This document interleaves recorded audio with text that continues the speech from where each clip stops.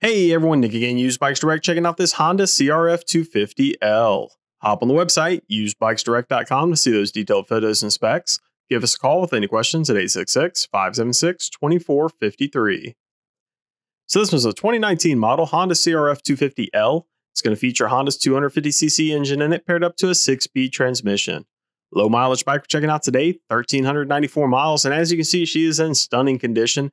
Definitely is fully loaded with accessories also.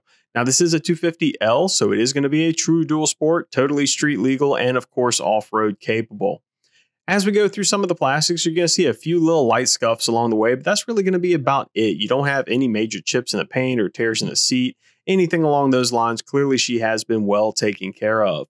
Naturally, the hand guards are going to show a little bit of wear, and on this front fender, you're going to see a couple of light scratches throughout here. Checking out the right side of the bike, more or less a reflection of what we saw on the left, a couple more scratches in the handguard, and that's really going to be it. I mean, this thing is a beauty for sure and an absolute blast to ride on the street or on the trails.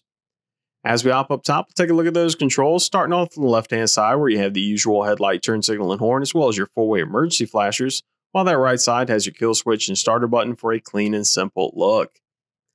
As we flip on the key, the display is going to come to life. Of course, it's full digital, speedometer bold and center, tach on the top, fuel on the left, and odometer on the right. So there it is, 1394. Anyway, let's go ahead and fire it up and listen how she sounds.